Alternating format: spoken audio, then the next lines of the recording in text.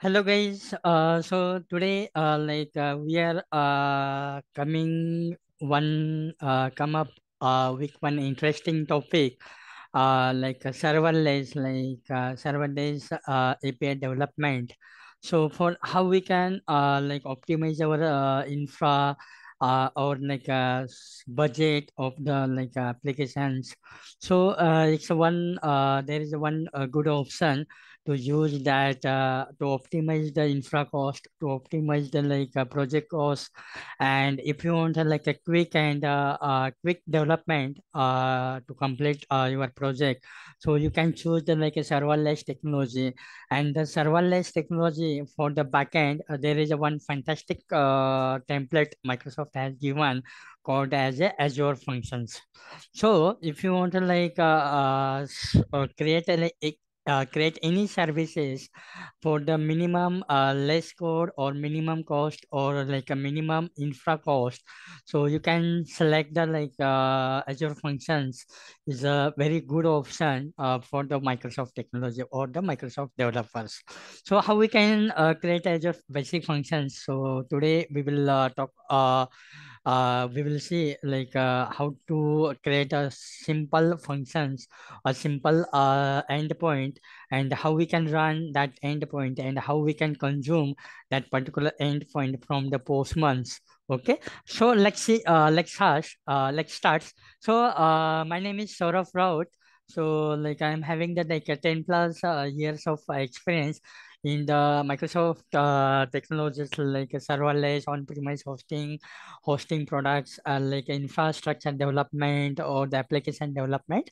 So let's start with this uh, serverless technology. It's a very interesting. Uh, uh, uh, we will make this series as interesting for the Microsoft developer in uh, upcoming uh, like years like uh, 20, uh, 23, 24 or the uh, 2025.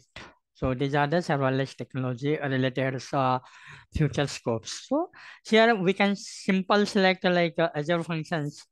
Uh, this is the like uh, uh, uh, like a symbol of the Azure functions like blue color and uh, orange color. So here we have uh, select that by basic template called as Azure functions. So here we will select and we will create uh, one sample uh, demo applications so here I will uh, name code as a sample demo applications. We have uh, select this uh, basic uh, locations and the solution name will be sample demos. Now I will click the next buttons. Here we have like a uh, like a function workers.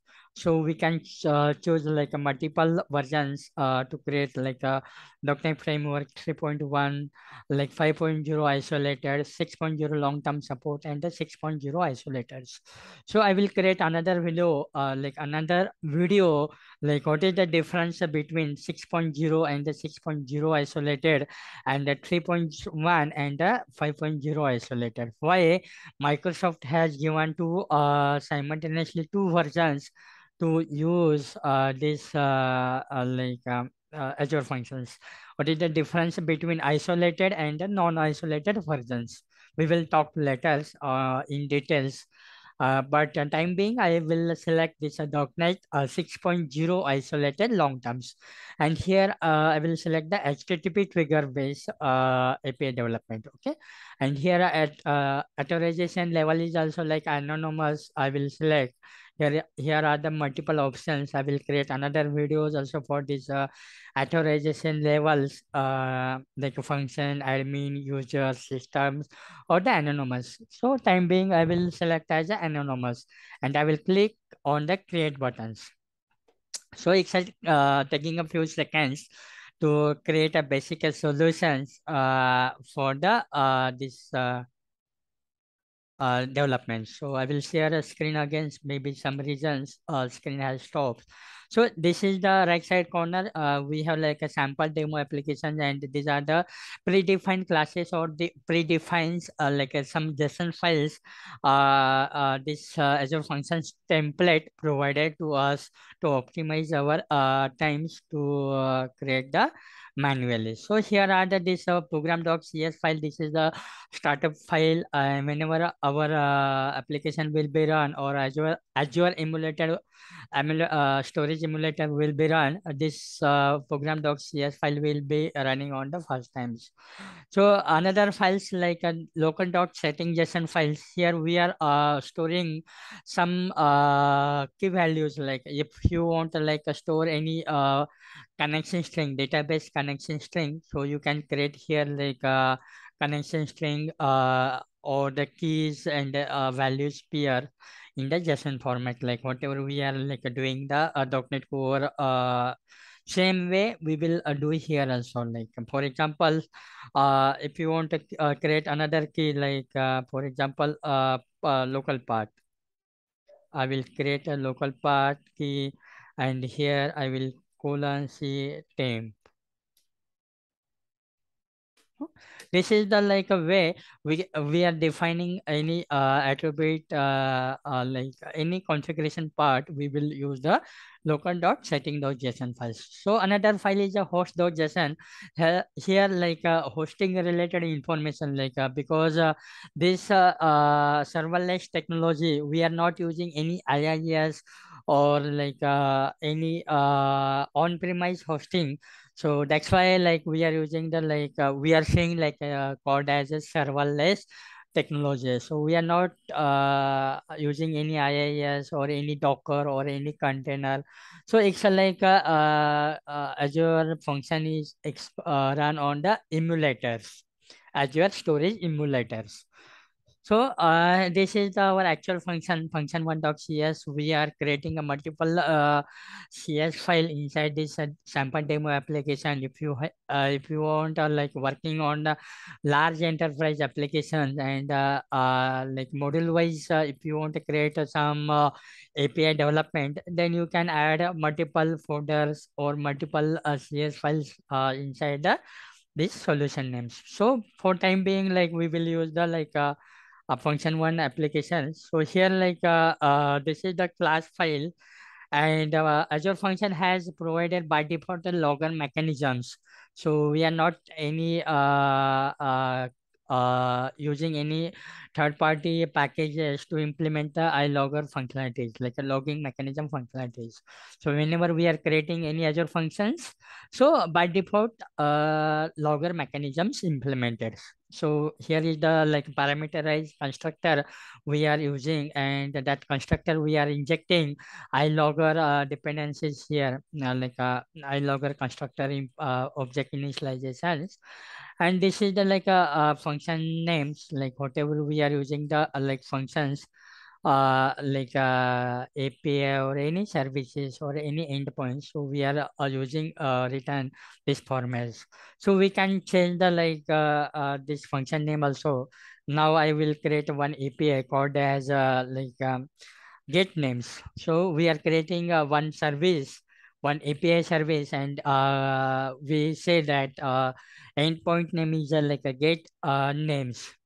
So uh, this we can change here also that uh, run attribute or here also like uh, this is the like uh, our API type like a get uh, type or the post type or the put type or the delete.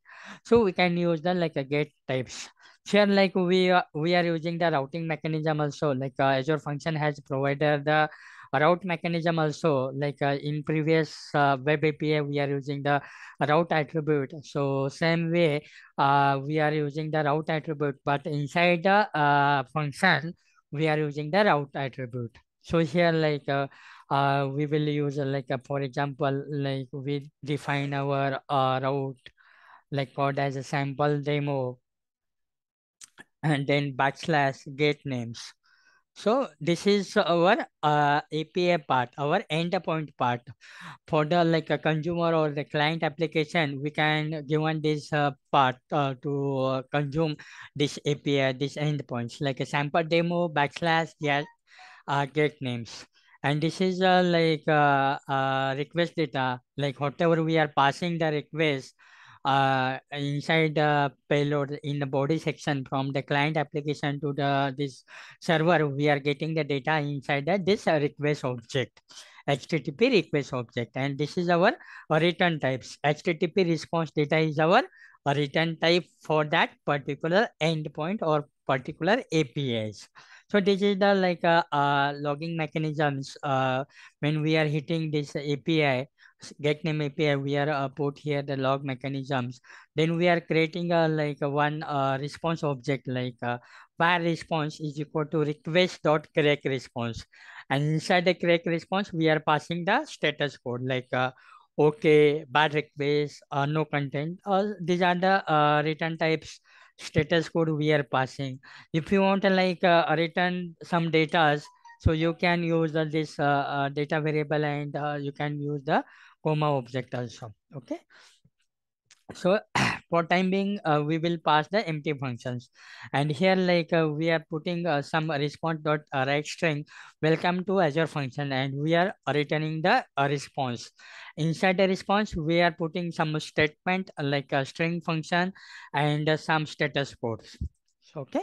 So uh, uh, this, these are the our actual business logic for the API development. Just we are passing the we are retaining the simple static content.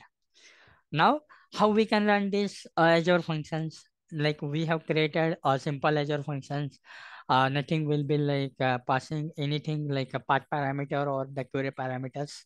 So uh, in next up, upcoming uh, video, we will use the like uh, how to pass the parameters, how to pass the path parameters, how to pass the body, how to pass the model, how to validate the data annotations. Everything will be see uh, step by steps. Now we will run this sample demo applications and how Azure emulator will be populating, how we can uh, access this URL like a sample demo dot get names so I will uh, run this application and it's compiling the application. So here like uh, you can see in the uh, in the bottom sections, it's compiling the applications, restoring the packages, it's compiling the like uh, now it's uh, using the uh, Azure Storage Emulator. So here uh, like uh, this application we cannot host any IIS. So we are running this application like we we are saying that uh, it's called as a HTTP trigger based applications, HTTP trigger serverless applications. Now see like whatever we are uh, creating an API inside these uh, applications. So uh, I will uh, uh, re share the screen. Mm, just minute uh, new share and this is the uh, I will book share. Okay, I will share the both screens. So in the left uh, left section sides, uh, we are saying like uh, this is our uh, emulators, and the right sides uh, we are saying that like uh, get names. Hope uh, you are uh, hope both screen will be uh, visiting. Yes, both screen will be presenting. So in left sections, in the black screen will be uh, black screen will be coming and here like uh, azure emulator will be found like uh, this sample demo.cs project and uh, like if uh, we we have only one function that's why it's coming as a only one url and here here is the get name is our function name and our api name api type is a get and this is our the endpoint so uh, URL like uh, URL endpoints HTTP colon backslash localhost then port number API then sample demo and the get name. Get name is our actual endpoint name, actual function name. So how we can access this URL? We can provide this URL to our consumers. Who, who will be consumer? Any application. It should be Angular, it should be React, it should be Vue, it should be Java, it should be HTML, it should be jQuery. So anyone can consume this URL and uh, access the data from this uh, welcome to Azure functions. Now we will use the Postmans. We have run the applications. We have run the Azure emulators. Now we, we can able to access this URL via Postmans. Okay. I will create uh, uh, uh, like a new collections uh, and I will put uh, his name, collection name uh, called as like Azure function demo. Okay. Here I will uh where it's called sorry. Uh this is uh, I will create one oh, okay maybe I think the screen uh, will be not available. So I will uh, screen the postman screen also okay? So you can also see the postman screen. Here this is my postman and I have created a new collection called as Azure function demo. I will create a new request here uh, add a request and uh, inside this request I will type uh, code as a get uh, sorry get name. This is my api name. Get name is my api name. And my api type is a get so i will select this uh, get and i will copy this url from the uh, this emulators. So i will copy this url i will post in the azure emulators. Sorry uh, sorry uh, postmans so I have posted uh, this my API URL inside the Postmans. Now I will hit uh, this URL. Uh, it should be written some output. See here inside the response, uh, we are getting the response code as a 200 uh, status OK and uh, welcome to the Azure functions. So these are the uh, response we are uh, consume uh, like uh, we are consuming this uh, Azure function URL and we are getting the response inside the postman. So this you can pass this URL uh, to any uh, client applications. If you want to like uh, develop Angular application or React application or Vue application or any uh, client-based application, Java. Okay, you can just pass this URL and uh, ask to that client application. You can use this URLs. In upcoming videos, we will uh, we will see how to use the authorization mechanisms, token mechanisms, authentications, authorizations, uh, how we can deploy this function on the Azure portals okay? We will see uh, step by step. But uh, in these lectures uh, you can just like uh, concentrate on the like uh, this uh, how we can create a serverless technologies uh, using the how we can develop the microservice using the Azure functions. So this is the best technology in upcoming years, uh, like uh, to next year or uh, 2024, 2025. This is a very fantastic and uh, minimum efforts, minimum less course, uh, no infra cost will be using for this uh, serverless technologies. And for the Azure functions, uh, competitor is uh, like uh, AWS Lambda expressions. So these are the two uh, technologies for the like AWS is using a Lambda expression and Microsoft has using the Azure functions. These are the two technologies uh, in upcoming years. It should be like a famous thing. So you can start uh, working on that uh, uh, microservices like uh, Azure serverless technologies. So these are the uh, basic things I have explained. So we will uh, meet in next lectures and next lecture we will see, we will create another function, another endpoint and that endpoint we will pass one query parameters and uh, and how we can pass the, that parameters from the postmans here like uh, in headers or the body or the query parameters and uh, uh, how it's uh, responding that parameters in the our uh, postman's response. So thank you. Thank you very much. Uh, be connected. Subscribe our like channels for the upcoming lectures. So it's a very fantastic series i will make for the backend developer or microservice developers who want